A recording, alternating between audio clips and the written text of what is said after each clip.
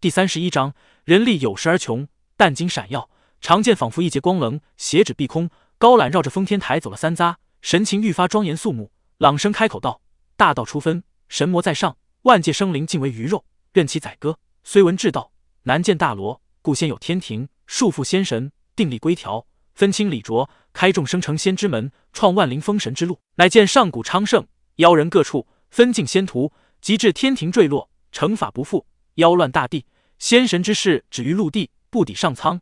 延绵至今，遂有风雨难调，雷电四溢，大道权柄混乱。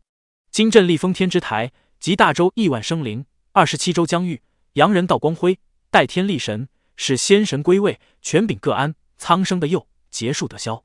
随着他一句句的到来，封天台缓缓震动，像是有了自身灵性。先是周围象征着五方五帝的赤青黄白黑祭台，徐徐亮起颜色各异的光芒，带来东南西北中的天象变化。层云堆砌，大地空明，各生一日，柔和照耀，光芒如水蔓延，及至封天之台，诸天星宿与各色神像的雕刻开始被点亮，于水波里彰显着身姿。最下方的土地山神、天降力士活灵活现，完全覆盖上了光芒，顿时有往下一沉之势，贯通了大周疆域，每一地每一山似乎皆有仙神看管。轰隆隆，真实界核心地带微微震动，发出低鸣之声，勾动封天台四周的氤氲凝聚。化作了一张具备四色的锦绣山河图，工笔画成，纤毫皆有，仿佛大周疆域的微缩。山河图往内融入，与封天台最下几层柔合，似乎成为了浮雕。光芒一层层往上，很快便点亮了星官、星君、诸天大圣等。只见虚空晃荡，天色近暗，一颗颗星辰相继璀璨，射下毫芒，落入封天台对应位置。很快，光芒提升到了五方五帝层次，高空顿时清明，宛若水洗。无穷高处则有钟鼓之声降下。四周香风扑鼻，环佩碰撞，仿佛仙神共贺。封天台上方渐渐凸显出破败灰暗的九重天虚影，它缓缓往下，似乎要与封天天重叠。随着这种重叠，仙乐飘荡，雷声如鼓，天地都仿佛臣服在了人皇脚下。高览收起斜指的人皇剑，便要插入封天台核心，完成最后一步，以人道统天。就在这时，九重天虚影里突然浮起一层暗红，带来无法言述的混乱。东西颠倒又正常，阴阳交错又各方。形成了没有规律的漩涡，凝出了一双冷漠淡然到了极点的可怕眼睛。是他，甫一出现，孟琪就认了出来，这是自己回溯过去旁观天庭坠落之战时遇到的那双可怕眼睛。那个时候，这双眼睛置身事外，静静注视着九重天的动静，异常诡异，让人心悸。而他仅仅一眼，自己便思绪念头胡乱，差点自爆。他怎么会在封天之时出现？这双暗红混乱的眼睛俯视着封天台。像是那亘古不变的天道，并除着人道的干扰。不过刹那的注视，凸显出来的九重天虚影分崩离析，一道道璀璨星线土崩瓦解，高空闪亮的星辰隐遁随之。高览甚至还未来得及反应，而孟琪的出手亦是慢了刹那。轰隆，轰隆，轰隆！封天台最上四层的浮光雕像相继发出爆炸破碎声。长乐城内，王思远静静看着这一幕，身披白衣，秀如女子，脸有病色，身后跟着四位捧琴剑。其丑等侍女，唉，他摇头长叹，转身消失在了茫茫人海里。暗红恐怖的眼睛消失了，高空一切异象不见了。目睹着封天仪式的大周臣民们陷入了沉默，一时晋升人力有时而穷，天道深邃难测，无法把握之感。高览立在封天台上，手中淡金长剑斜斜指着地面，风吹动地袍，猎猎作响。最后关头，功亏一篑。孟琪忍不住便想起了燕然之事，大哥自成格局，气吞天地。胸有乾坤，做事谋定而后动，又善于不遵常理，让人难以琢磨。一直以来都能于复杂局势下拿到满意的结果，无往而不利。但最重要的两件事情却都折戟沉沙，既未能救回爱侣，也失去了人道统天的最佳机会。而自己则相反，小亏常吃，大事总能拼出了好的结果。谁能想到摆平了所有干扰，看似再无阻难后，会冒出那暗红诡异的眼睛？他究竟是何方神圣？大哥背后的那位存在？未曾预料到他的出现吗？韩广背后疑似灵宝天尊的那位也未曾预料到吗？还是故意不提，免得封天台成为韩广重立天庭之事的最大绊脚石？一切发生的是如此突然，在场众人仿佛只是经历了一场梦境，无人来得及阻止，也无法阻止。看着高览的背影，孟琪竟有些品出英雄悲歌的味道，不由暗自喟叹怜悯。造化弄人，世事难料，希望大哥不要被影响斗志，再接再厉。现在不成，将来还有弥补机会。高览收回人皇剑，眸子幽暗深邃，对着大周子明，语气没有太大起伏道：“世事岂能尽如人意？但求无愧于心，未曾退缩。朕又不是没有遭遇过失败，经历过起落，一步步向前，终有一日能以人道统天。如今封天一事虽然未尽全功，没能抵达上苍，但也算掌控了大地，可以敕封土地、城隍、山神、河伯、公曹等神灵庇护大周，保佑众生。大哥意志果然坚如磐石。孟琪欣慰想到，然后看着高览敕封了长乐等重要地域的城隍土地等。等到封天仪式完结，各方势力代表离开，回到长乐皇宫，孟琪才对高览道：“皇兄，好事多磨，不要介怀。”高览负手走到窗边，看着碧空，缓缓道：“那双暗红混乱的眼睛，似乎是位大人物。在彼岸者们归来前，朕看来没法绕过他，以人道统天。而等到彼岸者们归来，局势又不一样，还得重新博弈。在孟琪面前。”他没有掩饰自身的情绪，至情至性，但沮丧只有少许，更多是思忖对策。孟琪想了想，微笑道：“也不是没有办法绕过。”嗯。高览回头看向孟琪，拿到封神榜，借助他完成人道统天，但此物在陆压手中不是那么容易拿到，而且陆压心思难测，或有野心，未必能说服他合作。孟琪说道：“封神榜。”高览微微颔首：“若有此物，无需一试。”只要将它与封天台结合，便能代天封神。他沉吟片刻后道：“陆压乃造化里也有数的人物，又得提防他的鬼域心思，此事先做考虑，从长计较。”孟琪见此间无有他事，惦记着杨戬封印下的线索，于是提出了告辞。临别之时，他严肃正经道：“皇兄，有件事情得提醒你。”何事？高览看向他的双眼。孟琪叹了口气道：“以后找我帮忙或者观礼，都得提防意外。难道自己是扫帚星转世？”或者吸取了别人的运势，让自己在关键时刻能得到好的发展。高览无言以对，看着孟琪消失于大殿门口。昆仑山玉虚宫，孟琪坐于云床，仿佛在闭目静修，实则神识进入左手窍穴，与顾小桑交流。那暗红诡异的眼睛究竟是谁的？孟琪开口问道。顾小桑绕着自身发丝，笑盈盈道：“你应该不陌生，他是笼罩在王家头顶几十万年的阴影，天道怪物。”孟琪恍然大悟，难怪一直觉得那种感觉熟悉，原来是天道怪物。而这暗红诡异的眼睛，看来便是天道怪物的源头。顾小桑含笑点头，这天道怪物相当神秘，就连我之本尊也不知他来自太古，还是本纪元诞生，直至天庭坠落之意，他才露出蛛丝马迹，从而不再完全无人知晓。他会不会是某些事情的幕后黑手？身边有个继承了彼岸者绝大部分记忆的姑娘，孟琪感觉非常不错。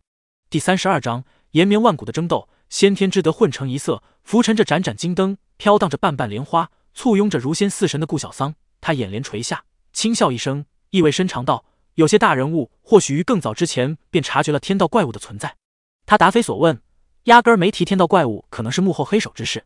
有些大人物早于天庭坠落之意就察觉了天道怪物的存在，他给人混乱邪异的感觉，仿佛这是本性，似乎并非时时理智，善于谋划。即使天庭之意时能冷静旁观。亦有种疯狂颠倒之感。孟琪先是一愣，接着诸多印象冒出，有了某种猜测。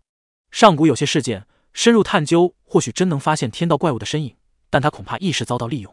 若有所思，点了点头。孟琪见顾小桑暂时不想细说，于是转而问道：“陆压究竟在图谋些什么？这次出手仅仅是为了拿下袁弘？”顾小桑先手摊开，多了一个赤红欲滴的桃子，呈半透明状态，内里满是血管经脉，泛着妖异光泽。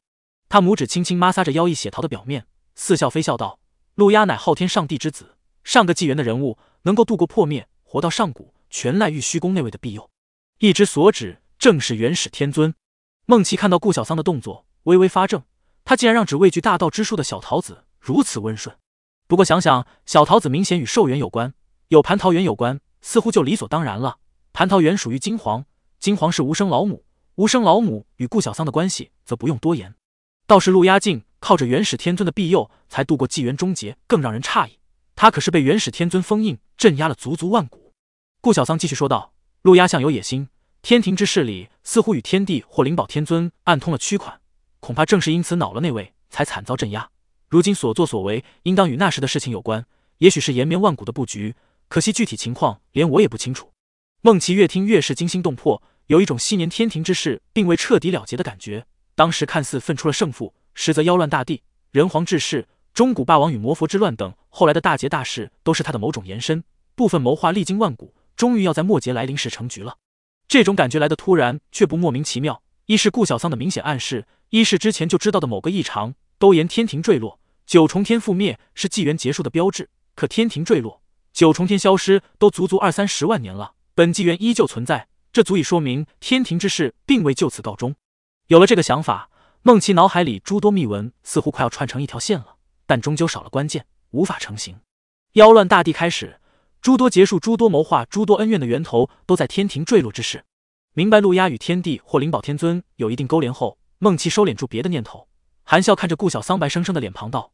如今局势勉强稳定，正是你冲击传说境界的机会。可即使你自证了传说，到时候面对归来的那位，恐怕也毫无抵抗之力，少有地方能潜藏。他想弄清楚顾小桑的依仗在哪里。传说对彼岸的抗争，怎么看都没有胜算，不像自己。好歹魔佛被镇压在灵山，只要能争分夺秒，抢在他脱困之前登临彼岸就行了。虽然同样艰难，但好歹有一定希望。不过孟琪也没奢望顾小桑会和盘托出自身秘密，只希望能从反应窥见一二。顾小桑一手抹挲血桃，一手托着脸腮，笑盈盈道：“相公也是，等到局势再次混乱，指不定就有谁潜入灵山，打开封印，放出魔佛，行砸棋盘之事。我们彼此彼此。”说到彼此彼此时，他眼波流转，笑意掩盖了眸子深处的情绪，而梦琪则再次生出同病相怜之感。两人都立在悬崖边缘，随时都可能跌落。退出神时，梦琪睁开眼睛，审查完念头后，运转诸果之音，遮蔽了天机。直接降临了轻微界，这是打开杨戬封印的最好时机。一是自身实力已然足够，二是弥勒等外在敌人刚受重创，没办法盯着自己；三是燃灯古佛等提前苏醒，如今急需稳定境界，寻觅恢复之法。一时半会还来不及窥探元始天尊行踪之事，若再拖延，等到燃灯古佛、盖世魔君等初步稳定，广成子等又未彻底苏醒，指不定就被他们先找到轻微界，打开封印，毁掉关键线索了。不过究竟是什么线索要杨戬封印？而非取走呢？念头转动间，孟琪出现在了那处草木繁盛的山谷前方，运转无极，散发出碎骨之初般的荒莽浩瀚气息。一点光芒随之亮起，封印的淡金大门凸显，内里郁郁葱葱，满是奇花灵根，但毫无成形成精者。充满岁月斑驳痕迹的石碑立在核心处，上书：“此地当无灵草奇花成形。”再次看到石碑，孟琪依然有种叹为观止的感受。如今的自己要破坏这天条容易。重新定力，则只能维持短暂时光，无法长远改变。毕竟这是轻微天的碎片，要想杨戬这种程度，至少得踏入造化境界。他眼中琉璃古灯凸显，照出一道道璀璨星线，彰显黑白流转的因果宇宙。深州虚幻时光长河浮出，静静向前，亘古不变。两者结合，顿时就弥漫出命运的气息，一言可谓天下法。孟琪右手探出，带着因果之线与时光长河，握住了那块石碑，口中朗声道。此地当无尽志，灵性生出便可成形。以自身操纵命运之能对抗石碑之力，互相抵消，方能拔起。轰隆隆，虚空闷响，回荡四周。那块石碑像是从无穷高处被拉下，像是从天地间被拔出。一株株奇花异彩，人参灵芝似乎陡然间多了几分活泼之色，枝条摇曳，如在行礼。石碑刚被提出，清风吹过，寸寸成灰，岁月腐蚀。第二道金门露出，孟琪负手进入。深州似乎环绕着无数星辰与星线，奔涌着永不停息的时光长河。灰白石地方圆几十丈，立着同样的石碑，淡淡书写着“天条”。此界生灵当无法跨过第一层天梯。孟琪再次弹出右手，抓住石碑顶端，庄严肃穆宣告道：“此界生灵修行限制在己不在外。”轰隆！被仙剑愁汪洋隔开的两块大陆同时响起震雷，满空尽是紫电银蛇，似乎打破了什么，欢庆着什么。轰隆！某个门派内。白发老者正闭目静修，感受着那永远无法突破的桎梏，心里沮丧、叹息等情绪历久弥新。可随着雷神震天，他全身一颤，只觉那座亘古不变般的天关轰然坍塌，水到渠成坍塌。他睁开双眼，愕然于自身突破，感应外界，只觉电光耀如白昼，天地似乎与之前有了绝大不同。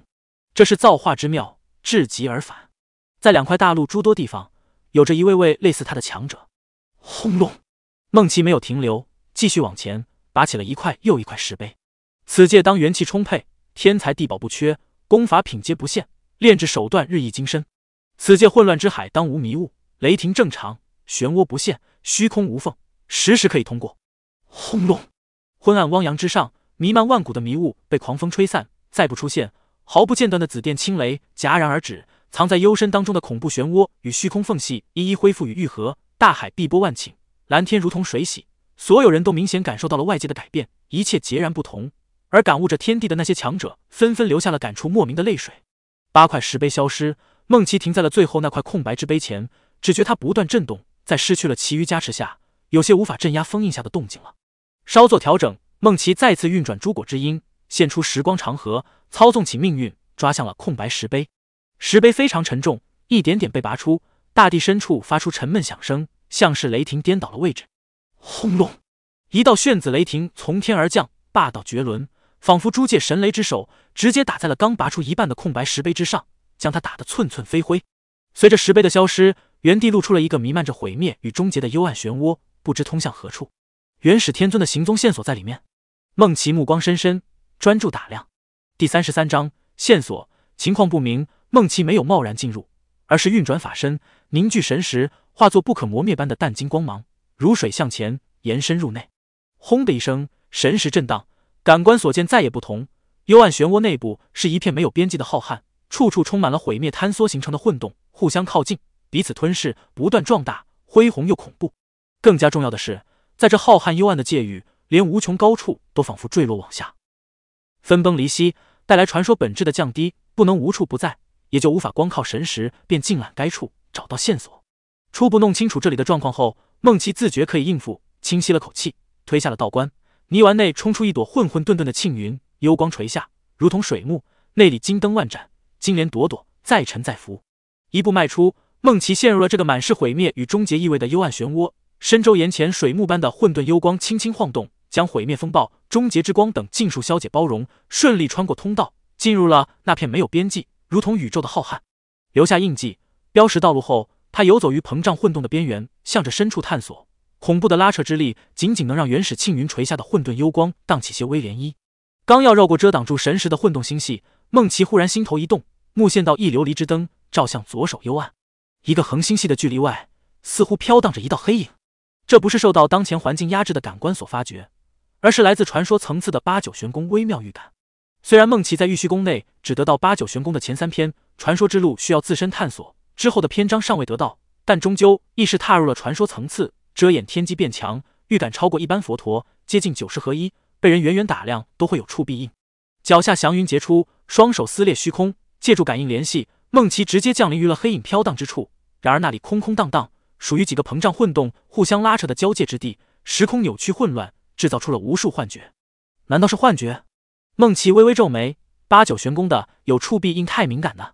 审查念头，回想刚才，他没有排除真有一道黑影的可能。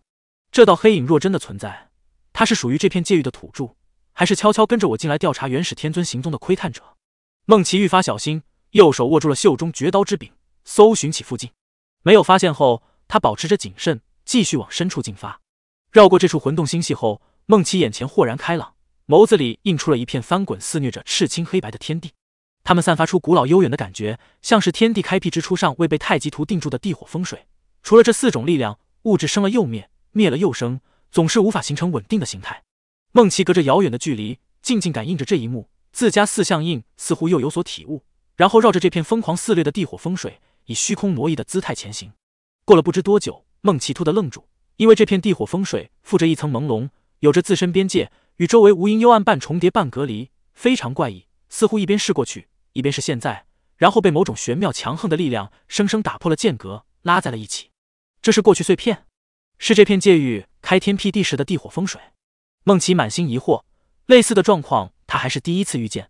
他有心询问顾小桑，但考虑到目前所得还不足够，因此只是传递了适才见闻，然后继续往前。过了这片能撕碎如今自己般的地火风水，梦奇发觉前方愈发诡异，幽暗深处仿佛万花之筒，布满了颜色各异的碎片。碎片真实为主，透着少许虚幻，有的弥漫死寂，恒星燃尽，如被冰封；有的什么也没有。止于无穷无尽的混乱，而混乱则透着凝固，因为已然达到了顶峰。治乱则静，永恒不变的寂静。有的是旷古绝伦般的大爆炸，肆虐了碎片每一处。这些碎片就像天地终结的不同可能，虽然靠得很近，有所连通，覆盖了那片界域，但彼此间仿佛有着虚幻屏障，仅是微微交融。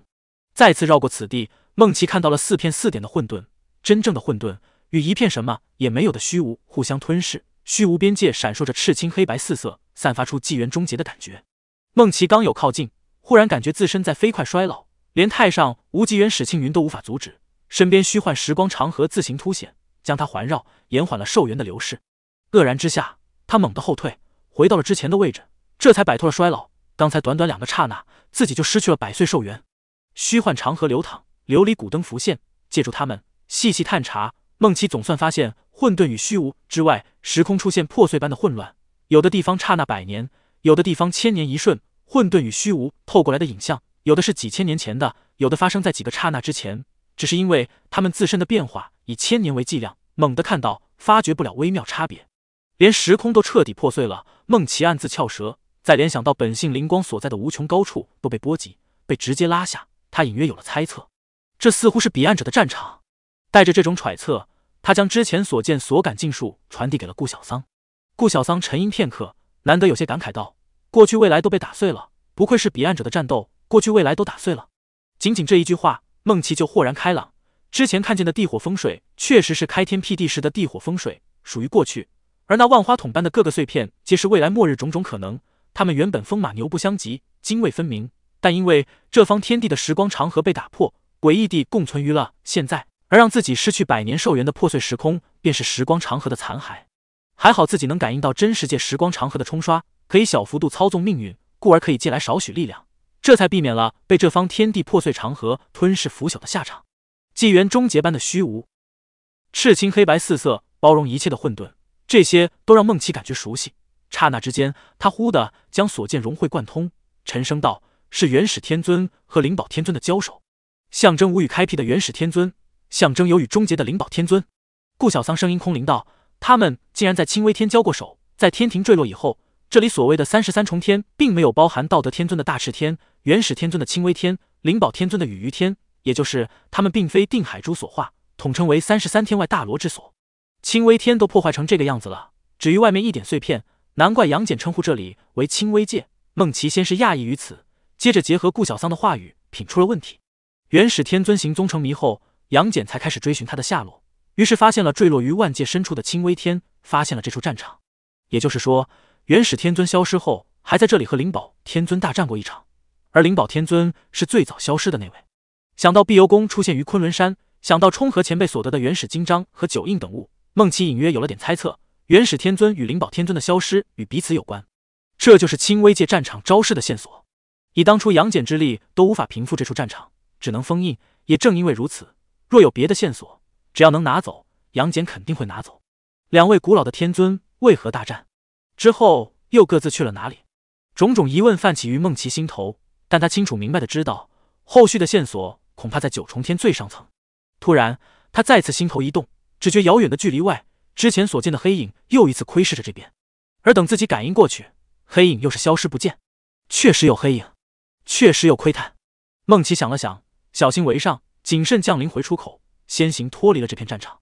刚回到山谷，他眼前忽然一花，看见奇花异草茂盛处有一道虚幻朦胧的琉璃般身影。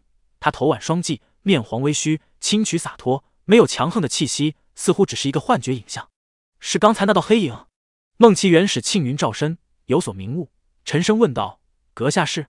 这道人微微一笑，贫道准提，第三十四章三师准提。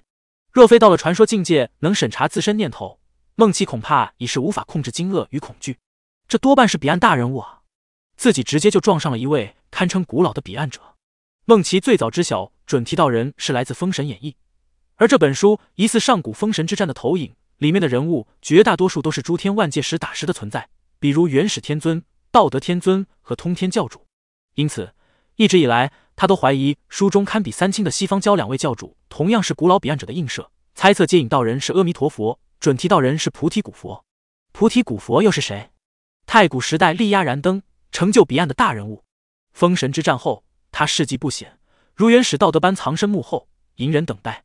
今日却突然出现于自己面前，排除掉恐惧、惊讶等情绪，梦其念头急速转动，从头到尾梳理起此次的遭遇。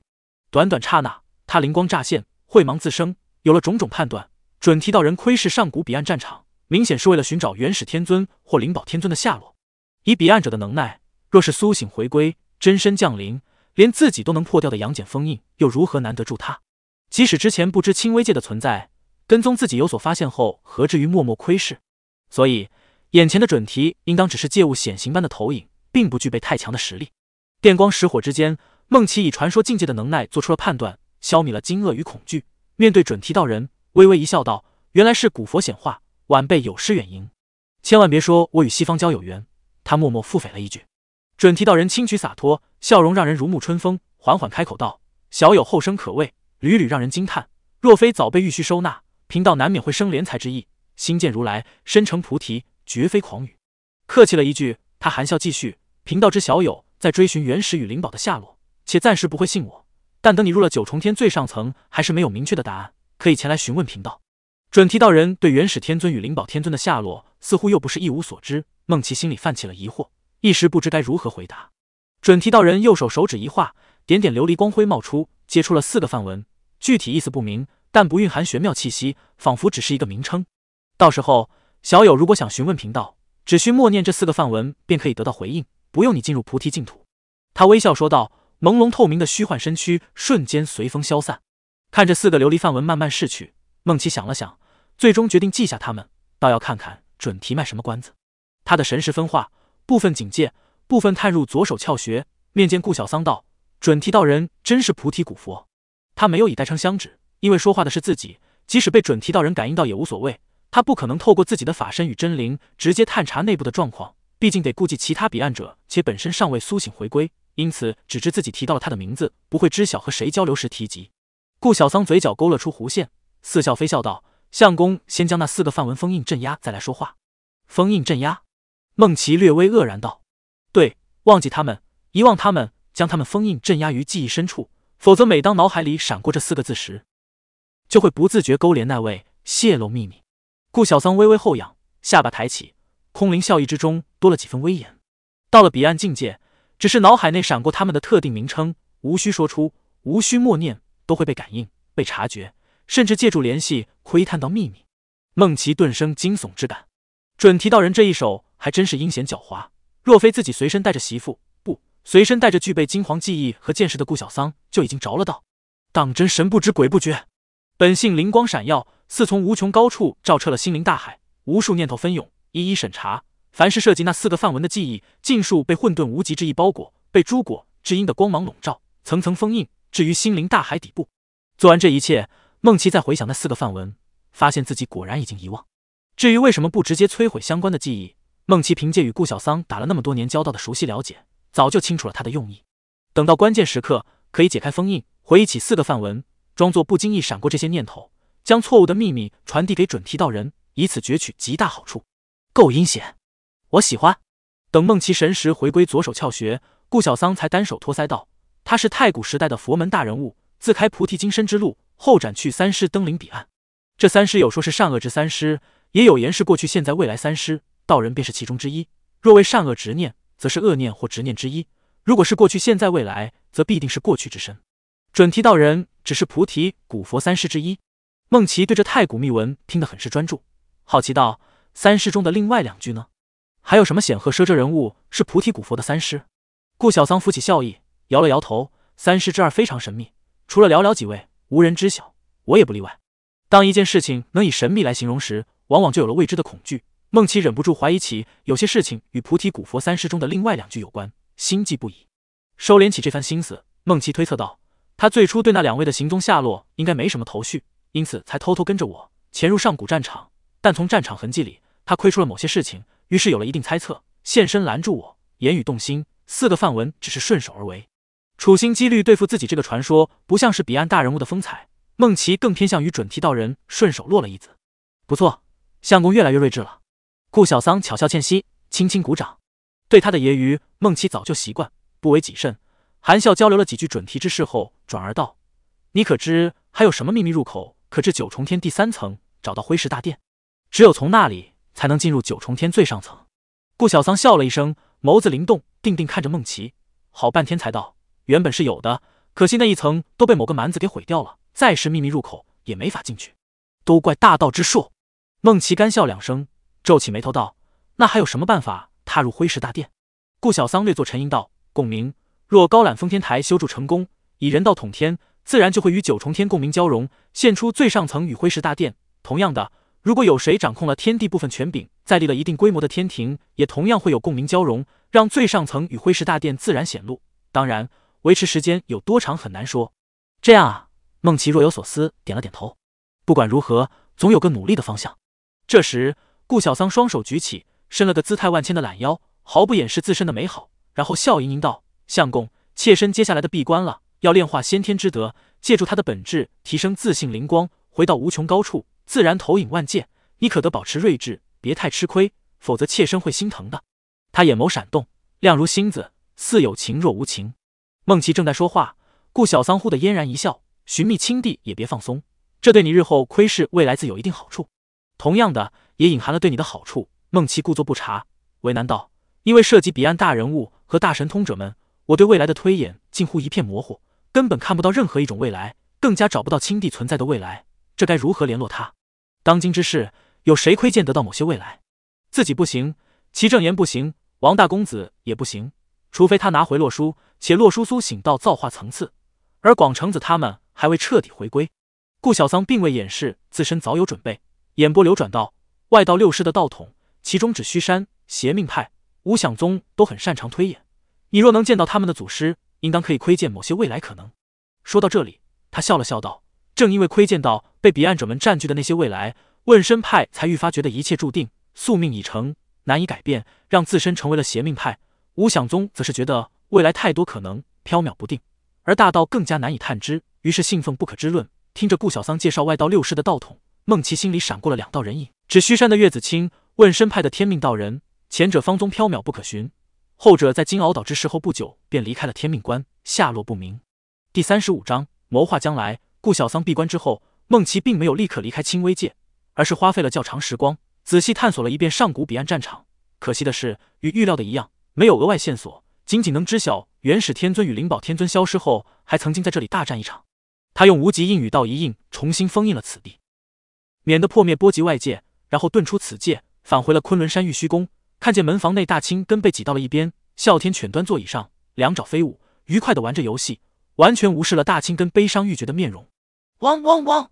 感应到孟琪回来，哮天犬欢快地打了声招呼，而大青根猛地扑出门房，语带哭腔道：“老爷。”您您可得为小的做主啊！这是真的，没人知道网络对面是不是一条狗了。孟琪腹诽了一句，随手射来一块偏重游戏性的万界通识符，丢给大青根，淡然道：“作为玉虚宫的门房，从哪里跌倒就要从哪里站起。”大青根抓着万界通识符，颜色由青转紫，由紫转黑，最后青里透红，重重点头道：“小的明白了。”他杀气森森，战意盎然，扭头便对哮天犬咆哮道：“死狗，来对局单挑！”十局六胜，孟琪没有围观他们，只是扶额为大青根默哀了三遍，以传说的反应速度对自身念头的审查掌控。若没有对应级数事物的加持，大青根只能被虐。可是，好好一条哮天犬，怎么进了我的昆仑山玉虚宫后也有所堕落了呢？是此地风水不好，还是我个人魅力太强？走回静室，登上云床，孟琪收敛心神，思索接下来该做的事情。九重天最上层一时半会是没法进入了，但亦不能守株待兔。等着大哥完成人道统天，或者有谁拿到天地部分权柄，得为此努力一二，多加尝试。比如从陆压手中拿到封神榜，比如暗里推波助澜，绕圈子帮韩广初步建立天庭，掌控权柄，引发共鸣，然后再引动布置，让他跌入尘埃，免得养虎为患。不过这个办法非常不易掌控，像是行走在悬崖边缘，稍微出错就麻烦大了。只能作为备选谋划，从长计议，追寻青帝下落，有助于我日后窥视未来。可惜外道六师向来神龙见首不见尾。连小桑也不知他们根本所在，而且要寻找的那三家又都擅长推演和遮掩天机，靠目前层次的诸果之因，多半无法追溯。嗯，此事可以问问王大公子，他对指虚山似乎颇为了解。弥勒和牛魔王等虽然遭受重创，但燃灯古佛与魔君被逼得提前苏醒了，即使不复圆满，也是当世最顶尖的强者，必须小心他们的举动和谋划。尤其其师兄那里，魔君怕是不会善罢甘休，定有手段，不能不防。总的来说，当前局势步入了较为舒缓的状态。给人族众生留出了一段可以潜心修炼、寻找突破的时光。封天台半成，掌控了大地权柄，延伸入了万界。大哥在他我之事，无需再浪费功夫了。不出意外，传说指日可待。但他曾经人格分裂，一边至情至性，一边冷酷狠辣。后来虽然借助金生镜连接融合，成功康复，可这段经历会不会影响到他勘破我之为我？或者说，这样的经历反倒有助于他弄明白我之为我？师傅继承了地藏菩萨道统，终于踏破关隘，正得金身。将来前途不可限量，但局势再生变化前，怕是没希望成就大菩萨果位，更别提正的传说了。而另外一方面，地藏菩萨金身糅合了报身的东西，若想继续提升，少不得许下渡魂之类的大愿，很容易卷入争斗。只为要不了多久便能踏入天仙境界，包容的他我数量已是足够，可正的传说还有我之为我的关爱，需要深厚积累才能勘破，一时半会指望不上。唯有陆大先生与苏无名前辈，经过这次我不我，你不你的合体，多半有所领悟，希望他们能尽快成就传说。尤其苏前辈走的正统路子，短时间内突破的机会不小。若真要推波助澜天庭之事，就一定不能让韩广在此之前正的传说，必须多加阻挠。赵老五几年前就有法身之望，可闭关突破却未能成功。不知出了什么岔子，小吃货积累已足，魔力远超他人，年内必能成就法身。可他集齐了伏皇两大琴谱，与这位活跃于太古末年、上古初年的疑似大人物有了某种程度牵扯，不知会不会出意外，必须多加看顾。一个个念头转动，孟琪发现自己要做的事情当真繁多混乱，而且多半是忧心他人，想提供帮助。嘿，从最开始我就觉得我有成为居委会大妈的潜质，喜欢操心，重情重义。孟琪审视着念头，厚颜无耻自赞了一句。他并没有排除这些情绪的干扰，因为审视之后明白这是自身确实想做的。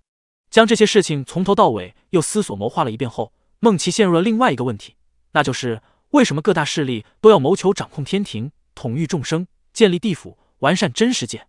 彼岸之下，为了践行自身之道、自身之路，那是不得不做，无需多言。就像弥勒，旁人笑他、辱他、诽他，觉得他少了佛门清净之心，行事不够佛陀风范。但这都是为了完成建立地上佛国、度尽世人的道路。可彼岸大人物们呢？上古年间争夺建立地府的主导权，又是为了哪般？这绝对不是表面上的权柄之争，必定隐含着什么深层次的东西。但这究竟是什么呢？孟琪苦苦考虑，百思不得其解。可如果不弄清楚彼岸大人物们真实的目的，将来又如何把握局势，跳出棋盘，成为真正的棋手？或许只有自身尝试一下，才能明白大人物们真正追寻的是什么。孟琪若有所思，点头，有了构建自身地狱的想法。而且，如今阴曹地府虽然被丰都大帝抢了先手，但也不算彻底成功，还有机会。想到这里，他突然灵光一闪：师傅修炼的是地藏菩萨金身，刚才我还忧虑他少不得许下度尽地狱恶鬼类的大愿，容易卷入大事争斗。现在看来，似乎可以助他一臂之力。此事危险，必须仔细谋划。竟是幽深光照成斑，孟琪从思绪里回神，重归现实。然后明白自身当前最重要的一件事情是修炼，修炼以及修炼，争取尽快投影万界，达到他我印记随着宇宙诞生或昼光碎片分裂自然出现的圆满层次。在此之前，他拿出万界通识符，选择了联络王大公子。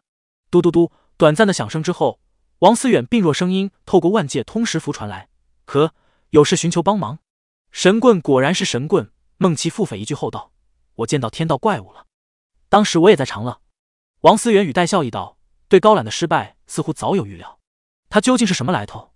孟琪顺杆往上爬，追问了一句：“王大神棍对天道怪物绝不陌生，当初可是从他的控制下以死为禁，跳出了棋盘。”王思远短暂沉默，然后剧烈咳嗽了几声：“若能清楚他的来头，我又何须埋葬王家过往，行此激烈疯狂之事？不过我有两个猜测：一是他涉及太古时代的道尊；一是他为某个死而未僵的彼岸大人物所化。”唯二正得道果的道尊，死而未僵的彼岸大人物，孟琪微微颔首，记下了王思远的推测，转而问道：“你可能找到指虚山或者邪命派无想宗的弟子，有缘遇见，有所知晓，可可遇而不可求。”王思远说道：“据说外道六师都在混沌边缘自开了一方天地，类同当初的魔界，而且他们六脉专注自身之道，游历江湖只是为了验证和求索，向来不干扰世事，行踪无法把握。可……”你可以找昔年娑婆净土的佛陀菩萨问问，毕竟外道六师与佛祖关系匪浅，或许有他们的线索。昔年娑婆净土的菩萨佛陀，绝大多数都进了无上真佛的肚子。孟琪思绪转动，锁定了两位人选：一是不死妖神，一是文殊广法师姐。又谈了一阵，商定了一些事情。孟琪居委会大妈体质发作，关切问了一句：“你最近在做什么？”王思远咳嗽了几声，语气浮出几分疯狂：“等下次遇见，你就知道了。”万界通识符联络中断，孟琪嘴角抽了抽，微微皱眉思索：这疯子又在谋划什么大事？赵恒猛地从梦中惊醒，只见月光穿透窗户，洒在身前，一片清冷与宁静。但他顾不得欣赏这样的美景，呼吸粗重，好半天才恢复过来。又做那个噩梦了，突破失败，万般成灰的噩梦。自己以为能够放得下以往，放得下过去的报复，结果闭关尝试突破时，平常不显的惆怅、空虚和矛盾都显露了出来。难以迈出那关键一步。是啊，过去几十年铭刻在血脉里的道路，岂是那么容易忘怀？当初在神都时，小梦曾经打趣的说了一句互换位置，他做皇子，我做大侠，可我却直接决绝了，连附和着开玩笑都没有。由此可见真实的想法。如今要重建道路，只比弥补玄关有悔容易一点。身心不一，自然顿足不前，噩梦连连。第三十六章，故国不堪回首。静坐半晌，赵恒缓步走到窗边，沐浴着清辉，仰望着冷月，心头既萧瑟又迷茫。虽然自己如今是大周顺位继承人，分享到的众生之力尤胜当初南面称帝时，但有生之年怕是无望那至高宝座。一则高兰处在天仙顶峰，距离传说只有一步之遥，日后境界不可限量，除非出现变故，否则寿元绵长，自己决然等不起。二是即使出现意外，高览中道崩殂，登临大宝者亦不会是自己，甚至不是顺位排在前面的小梦。那个时候，大周天子只能人皇剑挑选的新一任主人，而人皇剑认主之上，自己不觉得会有奇迹发生，所以自己以往的抱负、以往的意愿，统统都只能是镜花水月，而没有了这些，空占位置，分享众生之力，又有什么意义？浑浑噩噩，行尸走肉罢了。是不是该彻底放弃过去，重新寻求新的道路？可未来的路又在何方？赵恒一遍又一遍问着自己，但始终没有答案。不知过了多久。他看见冷月西沉，心中忽然升起了莫名的想法，不知此时的神都是否能看到同样的月色。此念一起，他顿时涌现出浓浓的思乡之情。那承载了自己过去几十年人生的地方，如同画卷，一幕幕闪现在脑海里。宫城、殿阁、魏王府以及大街小巷，是该回去看看了，看看过去的痕迹，走入回忆当中，找到新的道路。做出决断后，天色刚明，赵恒就进入长乐皇宫，求见了高览，言自己在外多年。呼声相念，想回神都祭祖。高览目光幽深难明的看着他，没有多问，颔首应允。时指正午，运河之上千帆遮日，百舸争流，好一番热闹繁华的景象。神都耸立河畔，庞大的仿佛太古巨兽，威严而深远。沿着运河两岸，则修满了房屋，鳞次栉比，喧闹生动。神都还是这般恢宏。宦官胡斗立在船头，落后赵恒一步的距离。他看着熟悉的景象，忍不住感慨有声：当真虎踞龙盘。气吞天下。闻言，赵恒轻轻叹了口气，仿佛回到了年少。那个时候，神都是天下中心，胜过长乐不知凡几。万商来朝，世家汇聚，真正的气吞南北，地心高照，王道威严让强者高手们不敢随意生事。今实行虽在，气已消。楼船停靠港口，赵恒背负双手，领着胡斗，穿过了深深的城门洞，穿过了多年的时光。他是大宗师，外出不可能找个法身高人保护。因此，只是带着始终跟随的宦官胡斗低调南下。入了神都，赵恒略作停顿，便选择了方向，没有前往内城，而是越行越偏僻。王爷，这是去？胡斗发现景色越来越熟悉，心中一动，开口问道。赵恒微微点头：“嗯，去那里。”说话间，前方已是出现一座占地极广的园林，奇花争艳，瑞树成林，贯通神都的河流在这里曲折回环，极尽颜态，美不胜收。御林院。胡斗呢喃般低语出了园林的名字。这座皇家园林为世人知晓，是因为曾经于此举办的琼华宴，而宴上元皇魔帝等当世风云人物，或光芒万丈，或崭露头角，在史册里书写了辉煌的一页。但对神都赵氏来说，刻骨铭心的却是琼华宴承载的希望与失望。顿光一闪，赵恒与胡斗进入了御林院。只见曲折河流多有改道，留下了明显的痕迹。一汪大湖水光粼粼，四周能见裂缝等荒凉景色。赵恒缓慢踱步。仔细打量着这些残痕，心头百感交集。他们的出现毁掉了神都赵氏中心的最后机会。当时还不觉得，最近几年愈发看得透彻。若那个时候琼华宴真正的布置成功，没有神话的天地韩广捣乱，没有放大劫雷的神秘人物，赵氏便能有法身人物镇压，平衡局势，可以赶上之后风起云涌的变化。不是说有法身就能抗衡高览，而是有了法身，展现了足够的价值。占据真实界如此宽广疆域的大晋何愁没有大人物拉拢布局，借此可逐步壮大，与高览分庭抗礼。可惜神都赵氏错过了这最好也是最后的机会，时至今日已无法挽回。若真能回到过去，改写这段历史，那该多好啊！赵恒闭上眼睛，呼吸着河畔清风，当初琼华宴的经过一一在心头流淌。回不去，终究是回不去了。旁边的胡斗背井离乡，异地为客，一时感怀深刻。此时长吁短叹不已，赵恒睁开眼睛望向内城，叹了口气道：“回府吧。”魏王府坐落于皇城附近的多子巷，环境清幽，车马稀疏。虽多年无有主人居住，但总少不了下人仆役清扫，寂寥却干净。赵恒没有与任何人打招呼，直接穿庭过院，抵达了书房。房内有好几个书架，摆满了书籍，案几靠在窗边，映照着午后金阳。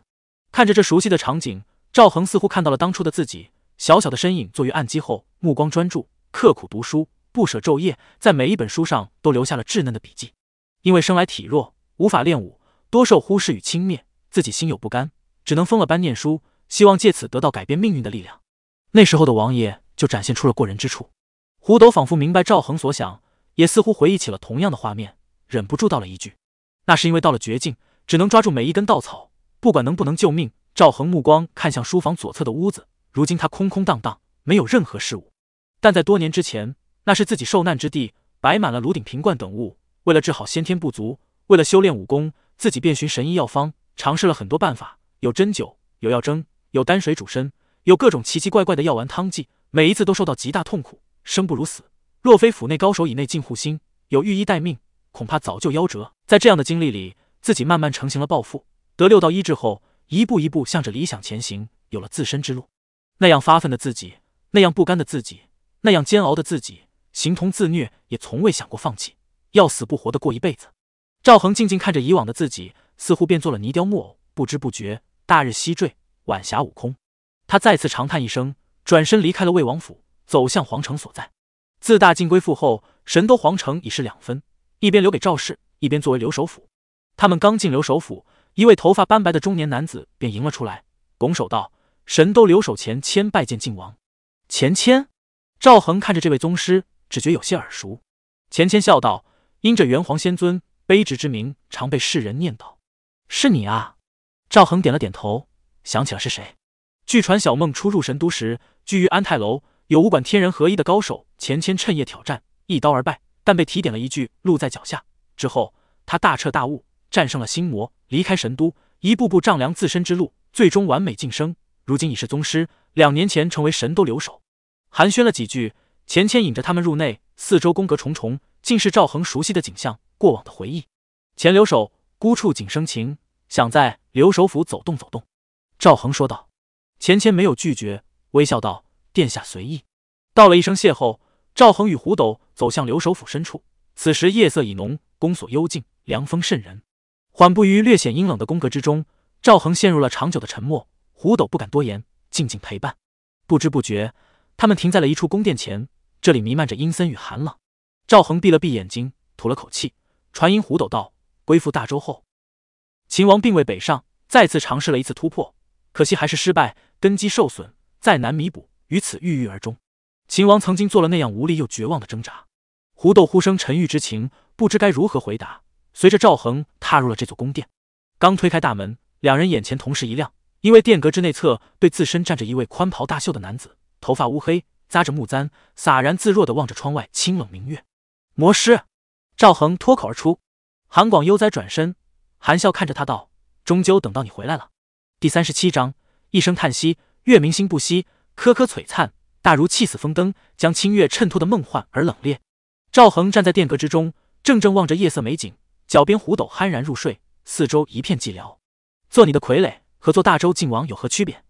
实质还不是一样？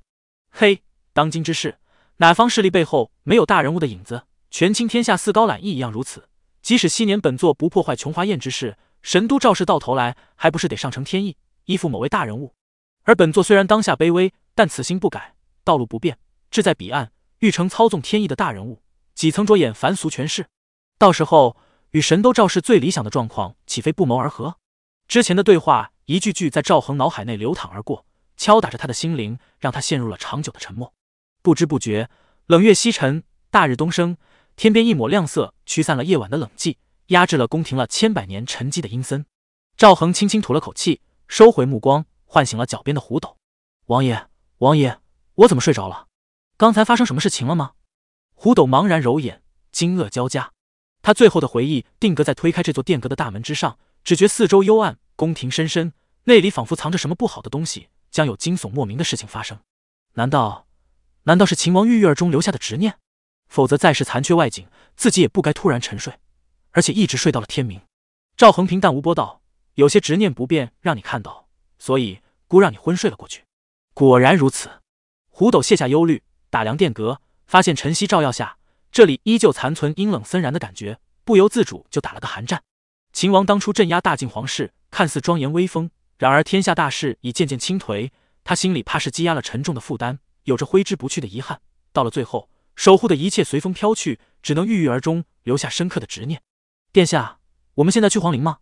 胡斗跟着赵恒几十年，向来善于揣摩他的情绪，知道此时提及秦王不好，赶紧转移了话题。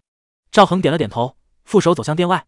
嗯，去皇陵，顺便和钱留守告辞，让他转告人皇。孤困于法身关爱，想在江湖之上四处走走，看看民生人道，寻找突破契机。胡斗猛地愣住，心头一片茫然。王爷怎么忽然想要四处走走了？出京时不是只说思乡祭祖吗？他迷惑的跟着赵恒，心中念头百折千回，最终还是觉得此事正常。毕竟自家王爷困于半步法身多年，各种挣扎和痛苦不足为外人道也。穷则思变，换个环境体验人道，理所当然。留守府大厅内。钱谦为难的看着赵恒，晋王殿下，您位高身贵，一举一动皆能扯动朝堂，贸然游历天下不太好吧？赵恒微微一笑，姑理解你的顾虑，要不你直接请示陛下，让他做出决断，如此甚好。钱谦露出了笑容，当着赵恒的面拿出一个金色万界通识符，这个特制的通识符可以直通长乐皇宫，抵达当今天子案头，是每一位封疆大吏才有的权限。自身虽然不算益州总管或刺史。但所镇乃前朝旧都，当然不比寻常。金色万界通识符绽放蒙蒙光彩，闪烁着变化不定的电芒，勾连着远方的长乐。过了几息，一道清雅的声音响起：“前留守有要事禀报。”每个特制万界通识符一一对应，长乐皇宫之人无需接通就能知晓是谁。钱谦恭敬道：“李总管，晋王将去祭祖，同时想要游历江湖，以寻找突破法身关爱的契机，还请您向陛下禀报。”对面的李总管短暂沉默后道。你先等着。过了片刻，他的声音再次响起：“前留守转告晋王，多留意民生之事，找找大周当前弊端。”卑职遵命。前留守挂断了万界通识符，抬手看向赵恒，微笑道：“陛下已然答应。”赵恒怔了怔，旋即勾勒笑容：“陛下时时不忘民生之间，不愧为当世人皇。”接着，两道遁光飞起，出了留守府，直去皇陵所在。大晋皇陵并未因为国王而败，毕竟神都赵氏犹存。还是世家底子，自有成员轮换看守。此时，一座座陵寝依山傍水，各具形胜，都占据了一等一的风水宝地。行走其间，会明显感觉到一种庄严肃穆的氛围，似乎被一代代帝皇威严注视着。赵恒没有通告此地看守，穿过警戒布置，缓步往上登临。每过一座陵寝，他都会驻足凝望，然后状似沉重地三叩九拜，一直到了最后，看见大晋开国太祖之墓，他才低声道：“不孝子弟赵恒今日前来告罪。”又是一番三叩九拜。旁边的胡斗紧紧跟随，心里却暗中叹息了一句：“这大晋终究还是亡了，自己人生最蓬勃的阶段也随着大晋埋葬了。”赵恒缓缓起身，俯视山峰四周，低沉开口道：“走吧，四下看看。”南荒碧空晴朗，山势起伏，从高处一眼望去，像是进入了山的海洋。其中一座孤峰上，胡斗战战兢兢，不敢抬眼，因为自家王爷旁边站着的是那位名满天下的南荒魔帝。不管有多少人对他赞誉有加。光是魔皇爪三个字，就让自己怯于直视。赵恒立在悬崖边缘，狂风拂面，头发飘舞，忽然叹了口气道：“当初结识之时，谁能想到名声低微的我们会各有际遇，处在如今的境况？当初的队友里，一位是玉虚掌教，当时传说诸界唯一，能搅动天下风云，执掌霸王绝刀；一位魔名遍传寰宇，占据南荒，行前无古人之事，遭受大能大神通者们的忌惮，身怀魔皇之爪；一位列在仙班，传说有望。”剑神之名让人如雷贯耳，一位偏居江东，情谊并世无双，即将成为仙人。就算最不济的自己，也是大周晋王顺位继承人，排在德榜前列的大宗师。其正言望着云展云舒，面无表情道：“我虽然信奉自强不息，一生需靠努力，但也不得不说，机遇亦很重要。或许便是自助者天助之。”赵恒回头看向他，苦笑道：“同样的，我也没有想到你会选择这样的道路。不说举世皆敌，但也算是遭天人嫉恨。”危难重重，其正言没有情绪变化地道：“若做行尸走肉，活上万古，又有何意义？我身在此道，虽九死，其犹未悔。有的时候，我很羡慕你。”赵恒吐了口气，说完这句话，两人陷入了长久的静默。过了一阵，赵恒转身踏出悬崖，乘云而去。齐正言身后的黑甲魔圣疑惑道：“他来到南荒，就是为了说这些闲事？”齐正言没有说话，目光注视着云海。狼牙城内，阮家祖宅之外。赵恒带着胡斗缓慢绕行。忽然，他们耳畔听到了一声清幽琴音，浑身为之一颤，四周似有裂天遍地之兆。琴声转急，大珠小珠落玉盘，天色迅速阴沉，附近花草树木瞬间凋落，继而枯萎，竟然直接失去了生机。此时，琴声一变，悠扬婉转，仿佛天宫仙乐，充满了蓬勃朝气，让人沉醉。那枯萎的树木重发新绿，奇花再次绽放，又是生机盎然。两首曲子各成一态，分韵生死，似乎在半空凝成黑白虚像，恰似一个圆点。半晌后，琴声袅袅而终。赵恒怔了片刻，微笑转身对胡斗道：“走吧，不用进去了。”为何？胡斗讶异开口。赵恒边行边言：“他两门仙曲大成，生死交加，且控制精细，能只影响花草树木，表明一定时间的稳固后，就能踏破法身关隘。可这和我们进不进去有什么关系？”胡斗还是茫然。赵恒没有理会他的疑问，低低吟道：“命若雷卵，生死难测，不用再去洗剑阁，再去昆仑山了。”遁光划破天际，他和胡斗直回长乐，踏入自身府邸。接着，赵恒端坐云床，挥手关上净室之门，双眼半开半合，嘴边一声叹息，然后运转内景，开始尝试将法相元神与肉身合一。轰隆！高空忽的昏暗，千云密布，一道雷霆猛然劈下。韩广离开神都后，身影变虚。朦胧难测，宛若时光扭曲之间就消失在了原地，遁入了一处隐秘所在。此地立有一人，身材矮小，容貌古拙，大红袍，鱼尾冠。而他的身前建有一台，台上结一草人，头上一盏灯，足下一盏灯。第三十八章，只等东风，灯火相照，草人玉皇，整个场景透着淡淡的奇诡。而感觉到韩广的进来，身穿大红袍的矮小道士微微一笑，道：“万事俱备，只等东风。”韩广悠然自得，含笑发声：“有劳道君了。”这矮小道人正是陆压，而身前的布置乃他名震上古的两大手段之一——钉头七剑书，亿万劫外，骤杀敌人于无形。昔年灵宝天尊门下玄坛真君赵公明便是死于此法。轰隆！乌云遮蔽长乐，青雷成树，猛地下劈，一下就将晋王府的陵墓尽数劈得焦黑，让他们燃起了熊熊火焰，使阵法应激而动。胡斗吓了一跳，正待查探。却发现自家王爷闭关的净室内明黄迸发，渲染往外，像是一浪接一浪的汪洋大海。而与此对应，长乐浮光凸显，积累的众生愿力汇成了一条条金色真龙，他们遨游于明黄之阳，涌向了王府，形如万龙捧珠，场面辉煌而壮阔。胡斗看得目瞪口呆，心里只有一个念头：王爷，王爷怎么突然就尝试突破了？不是心结未解，道路徘徊，停滞不前吗？轰隆！高空群魔乱舞般的青色雷霆汇成一道，刹那劈下，直指赵恒闭关境室，恰似贯通天与地的桥梁，将方圆万里照得亮如正午。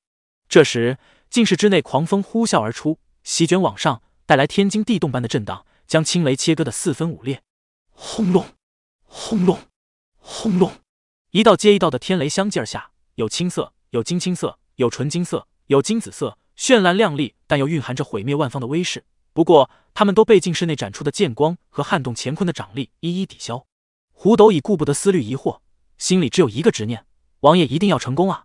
指望满天神佛庇佑，祈求昆仑山玉虚公园黄大仙尊庇佑王爷渡过天劫，正道成仙。轰隆！第九道劫雷劈下，金子转为了纯子，绚烂亮丽却霸道绝伦，像是能直接将晋王府所在化作飞灰。就在此时，禁室内飞出了一道身影，头戴平天冠。冕旒垂面，遮住容颜，四周众生愿力所化金色真龙盘绕簇拥，近似融合。而愿力之外，天地分解，化为八卦虚影，昭显着乾坤。奉天承运，雷劫退散。这道身影发出威严庄重的宣告，引着万条金龙就迎上了炫紫劫雷。轰隆！高空一声沉闷雷鸣，紫电被金龙包裹，诡异崩解，乌云随之消弭，天朗而气清。身影落下，金龙入体。天官冕旒和八卦虚影等尽数收起，现出了赵恒的模样。与以往相比，他眼眸深处多了一抹泛着八卦虚影的淡金。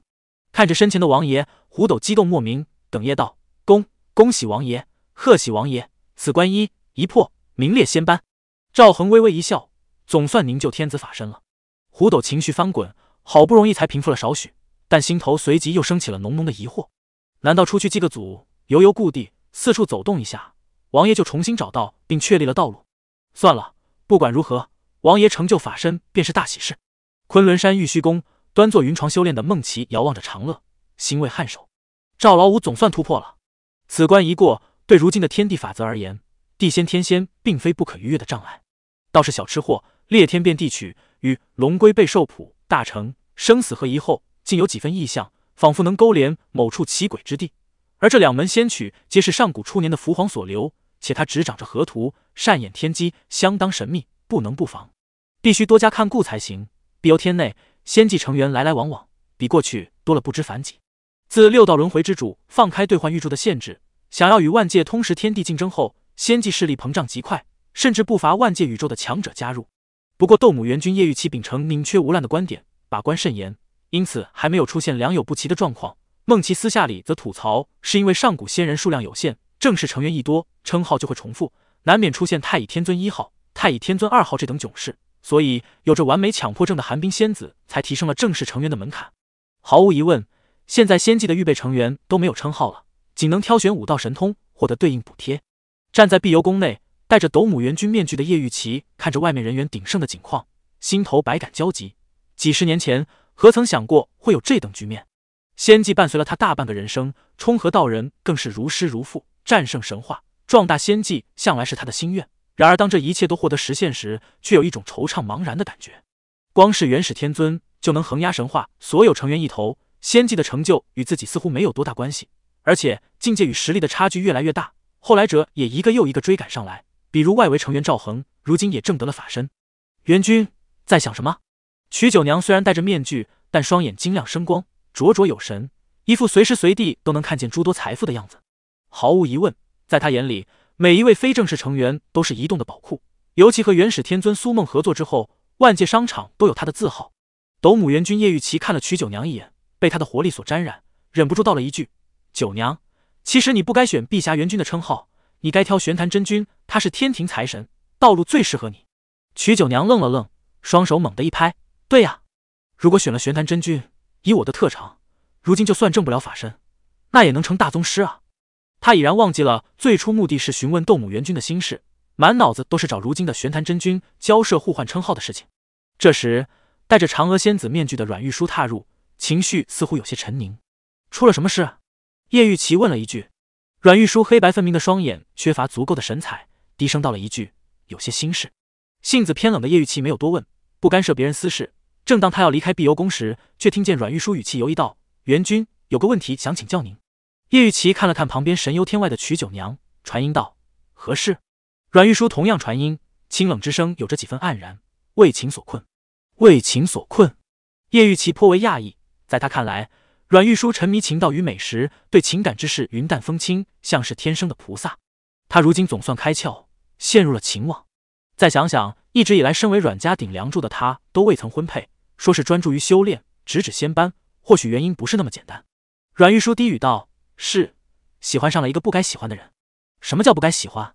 叶玉琪心弦一动，有所感触，难得主动关切的询问。他有自身喜欢的人，眼里再不见其余，我只能远远看着，心里饱受煎熬。阮玉书声如琴音，徘徊回荡。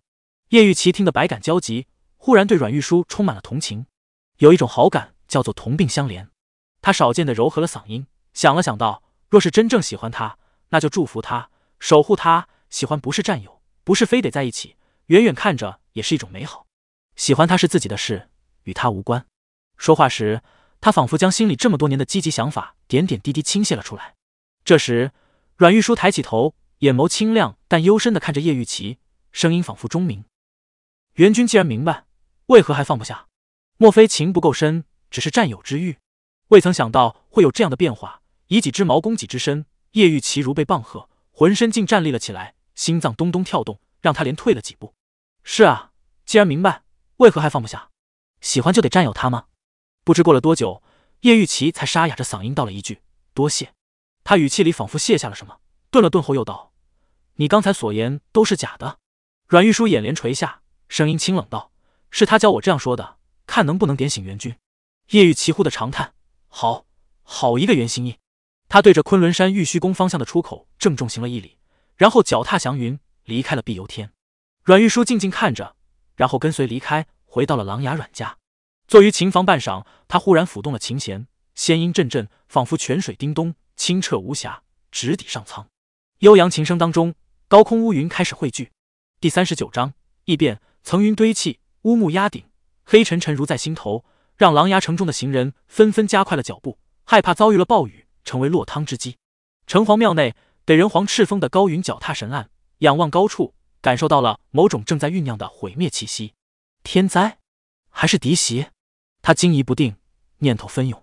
身为城隍，他有调动这片地域力量、守护生灵的神通，与彭州刺史、六扇门金张捕头共同构建出狼牙的权力三角。此时正犹豫着要不要将异常直接回报长乐。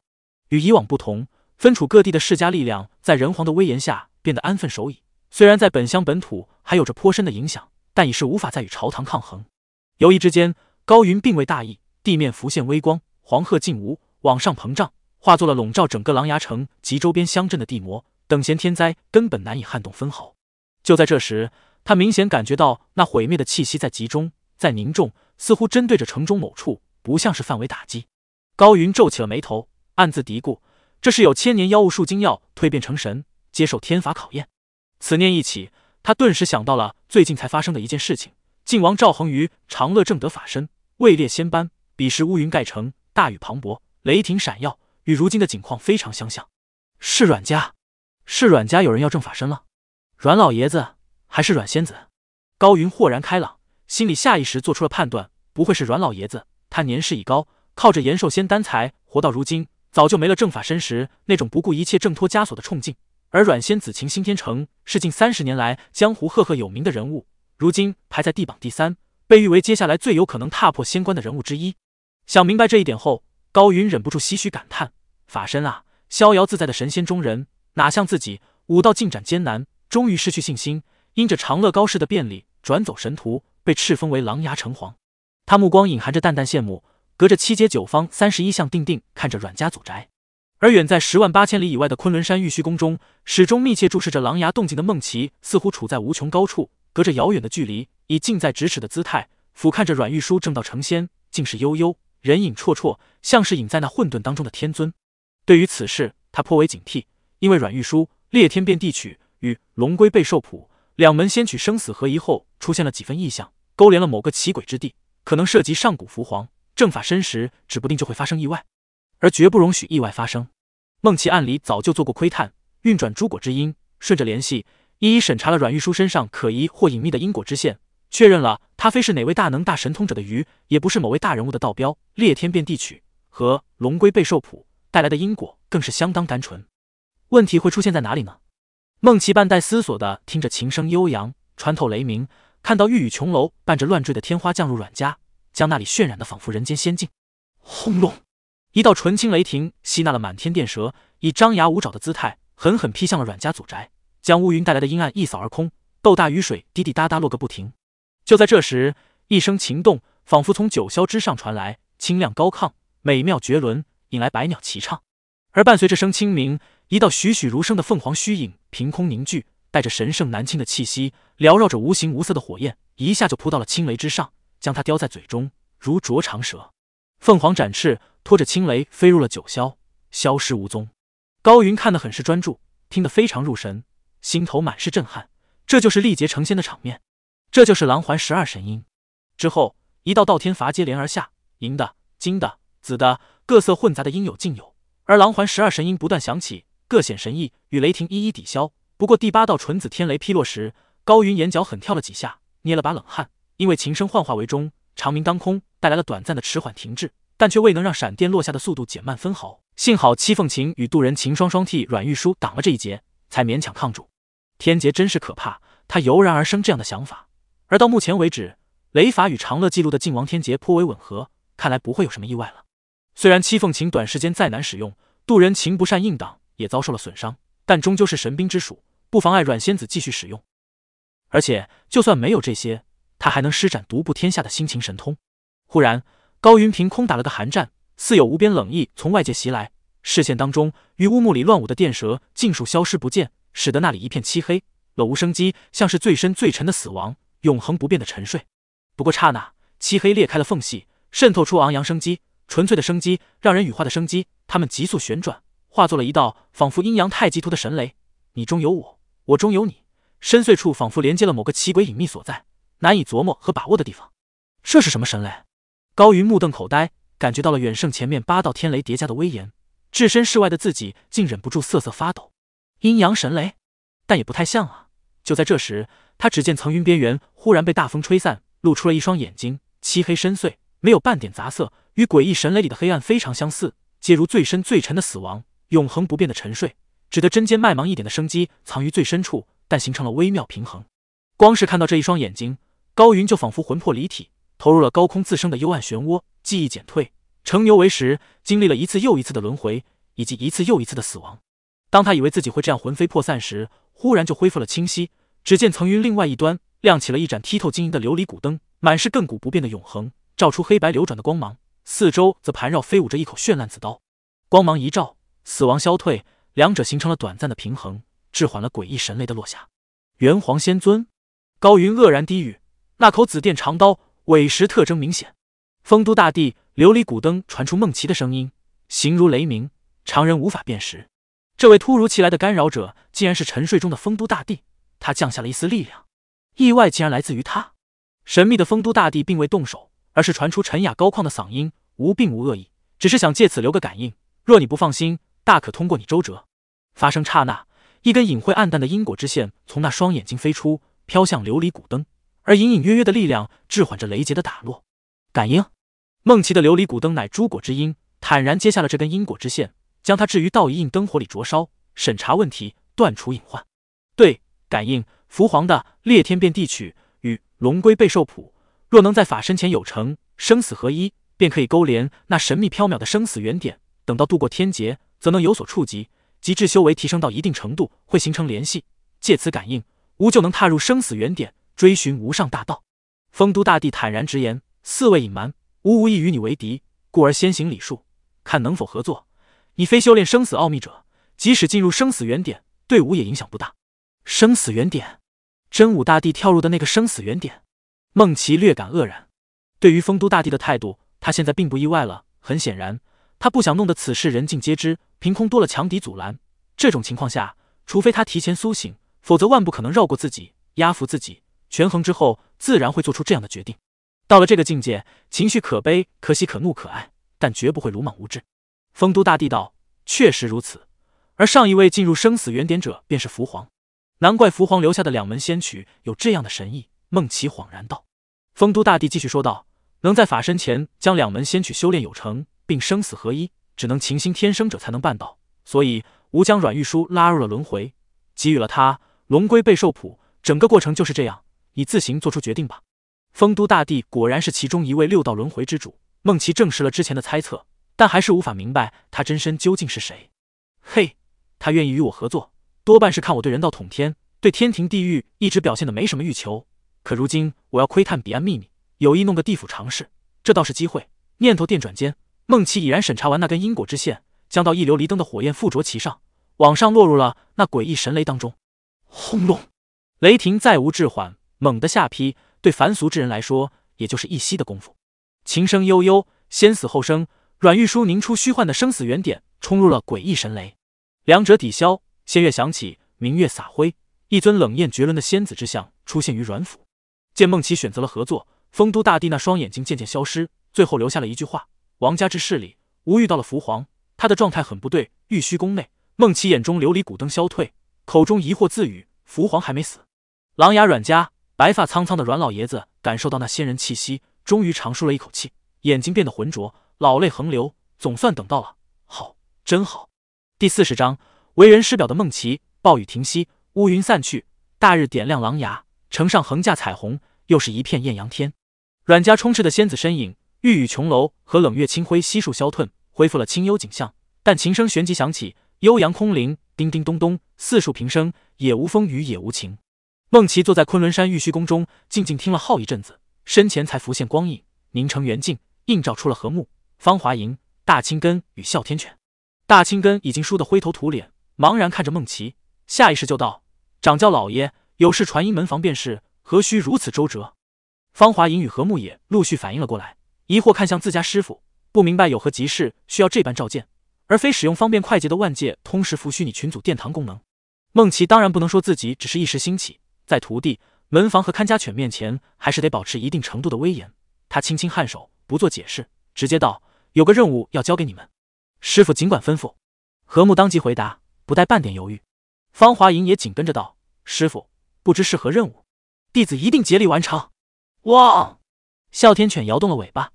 大青根在圆镜里左看右看，一时有些茫然。不是应该自己最快表忠心立态度吗？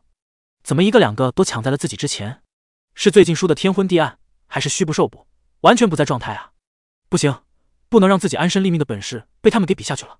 扑通一声，大青根匍匐在地，高声喊道：“老爷放心，不管任务是什么，小的必然赴汤蹈火，上刀山下油锅也在所不惜。”一连串的话语喷薄而出，尽展他的深厚功底。旁边的哮天犬明显呆住了，似乎重新认识了这位小伙伴。孟琪抚了抚额头，消去了大青根的声音，语气和缓道：“一点小事，但非常繁琐。”他右手屈指一弹，四点金芒飞出，穿过光影，穿过天南海北，分别抵达了大青根、哮天犬和木与方华影所在，落入了他们眉心。诸多内容涌出，灌输入了脑海。何木顿时皱了皱眉，这是？语气里满是疑惑和不解。哮天犬已经狗眼茫然，大青根更加迷迷茫茫。孟奇微笑道：“一些比较偏激的观点。”你们各持一份，在万界通识天地的论坛上挑起争论，记得雇佣帮手，将声势弄得极大，最好能将所有闲着无事之人都卷入其中。这是用来钓外道六师门派里无想宗、只须山和邪命派的诱饵。既然他们不是完全的隐世不出，仅仅是不图神功、不贪宝物、不求权势、不操纵天下大事，还需要游历，还需要验证和掌握自身之道，那就还有踪迹可循。而只要踏入真实界，如今就绕不开万界通识符。更为重要的是，需游历验证的往往都属低辈弟子，多半还有好奇之心，不会对万界通识符视而不见，略微尝试尝试是应有之意。所以在当前万界通识符内，那数不清的用户里，很可能就藏着外道六师的弟子。他们也许本来就出身真实界，资料无懈可击；也许用的是简易推广版，一时难以确认身份。虽然自己可以一一反诉过去，挨个挨个审查，但那就太耗费自己的精力和时光里有碍修为境界的提升。当然。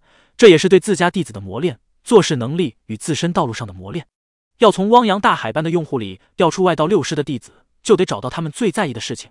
而一个近乎不图神功、不贪宝物、不求权势、不想掌控天下的人，高尚的人、纯粹的人，毫无疑问最在意自身理念、自身道路。昔年为了坚守观念，外道六师可以与佛祖分道扬镳，其后哪怕对方登临彼岸，也从未闻他们有依附之事。上古多少纷争，他们亦从未卷入。